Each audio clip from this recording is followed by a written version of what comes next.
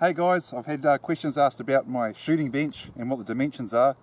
Um, there's two ways you can go about it. One's to just use a, a half sheet of ply. Um, the New Zealand measurements for a half sheet are 120 by 120. Or you can use a full sheet of ply as your top.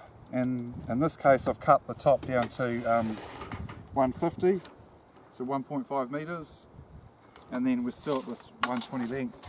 The reason why this one's quite long is because I actually use it as a workbench so I might have two or three rifles on the go at once and I can do my gun cleaning on here while I've actually got one on the bags okay?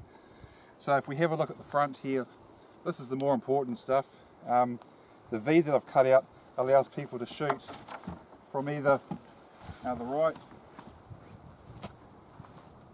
or the left here so they can really lean into it. A bit of room for bellies and boobs okay so the center, center cut. From the centre and as you can see I've just guessed this when I read it out is uh, 70 centimetres and the depth, 700 yep. 700 yeah. And the depth is approximately 500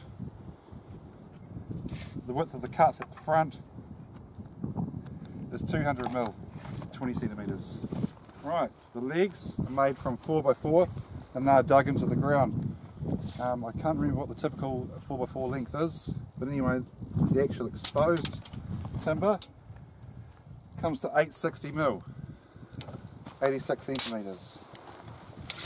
So they must be one metre lengths, I would say. I believe that's what they are actually, one metre 4x4s. And then through here we've got our 4x2s, and I've left a bit of overhang at the front, wee bit of overhang at the rear. So the length of the 4x2s is 1400 and then through here there's this piece of 6x1 which is just to stop it from um, rocking backwards and forwards that way but also to keep cattle from getting at my bin on the inside. So we've already got the measurement here. Um, the bin is covered with a sheet of um, tarpaulin just because the sun attacks the wheelie bins so quickly I've just got my sandbags in there it just keeps them handy doesn't mean I have to lug them backwards and forwards all the time so I've got my wheelie bin, tarpaulin, a couple of bits of wood to keep it all together. Right. And if you've got a, a, full sheet of ply, you could probably make the 6x1, you can make that out of ply, you can make the seat out of ply, That's and right. use the yep. rest of the sheet if you... Yep. Yep, we'll do so that. just note that the, the seat, the centre of the seat is centred to the ply, so it's not in front, it's not behind. It can be a little bit difficult to climb in and out of, but once you're in place, it's a very, very comfortable position. So if we have a look at the measurements on the inside here, roughly um, 800. And that's roughly it. Underneath, we have some reinforcing across, but not a heck of a lot. Just to make sure that the bench doesn't bounce. And that is a good solid shooting bench.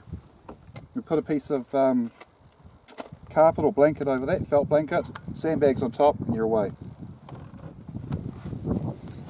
Cool. Very good.